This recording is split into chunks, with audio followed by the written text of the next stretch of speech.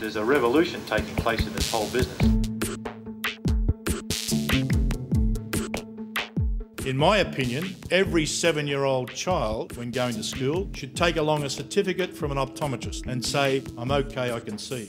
Myopia is progressing at such a rapid rate that in some countries in Asia, for example Taiwan, 83% of 18 year old girls are short sighted. We're talking about a massive increase in myopia.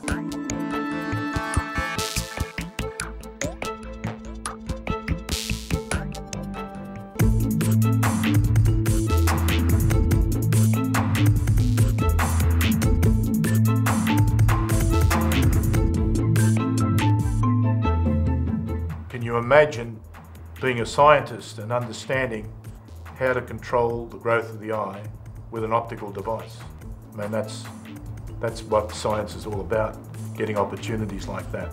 And it will make a difference in the long run to billions of people.